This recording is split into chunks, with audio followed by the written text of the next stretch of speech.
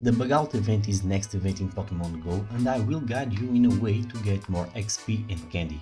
The event runs from April 12 at 10am to April 17 at 8am.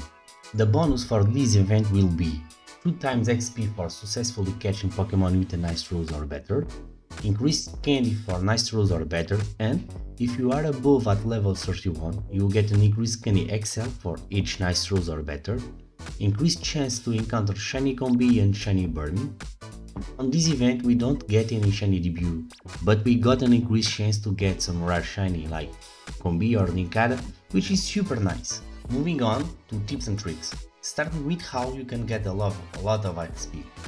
So you will get 2 times XP for nice throws or better, and with an excellent throw giving 1000 XP, now it's the time to use a lucky egg, because with a lucky egg, each excellent throw is a 4000 XP.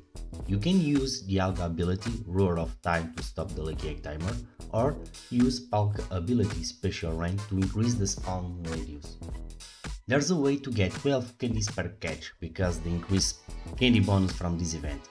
For a nice throw, you get 4 candies, for a great throw, you get 5 candies, and for an excellent throw, you get 6 candies.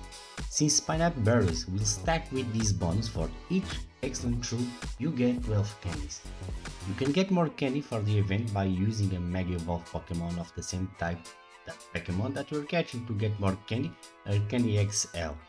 Since the majority of the spawns are bug type, I will recommend to use Mega Pokemon like Mega Beedrill, Mega Scizor or Mega Pinsir.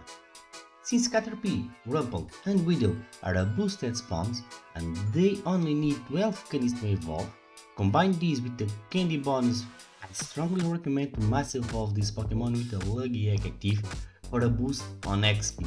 For wild encounters, here's a breakdown of some Pokemon you can expect to find.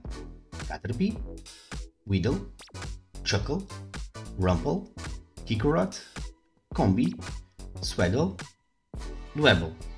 And if you are a lucky trainer, you may count the following Nincada and Cutiefly.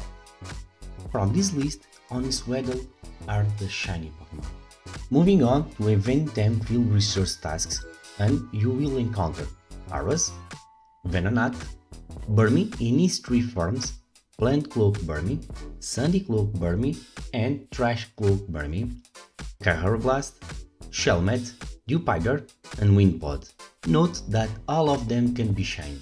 If you complete some field research tasks, you will get Mega Energy for Mega Beedrill, Mega Pinsir, and Mega Scizor. Let's move into raids. On 1 star raid, Pineapple, Shuckle, Nincada, and Skorupi. On 3 star raids, Beedrill, Pinsir, and Kleavor. On 5 star raids, Tapu Bulu with its legacy movie Nature's Madness. And finally, on Mega raids, Mega Charizard X until April 13 at 10am and after 10am we get Mega Heracross. With that being said, let's see which Pokemon we should focus on. Weedle, it's a much catch for its Mega Evolution Beedrill. Combee, because its evolution Vespiquen. Only female Combee can evolve. And if you want a shiny Vespiquen, now it's the time to grind it. Nincada, it's a rare spawn and its shiny version is even more rarer.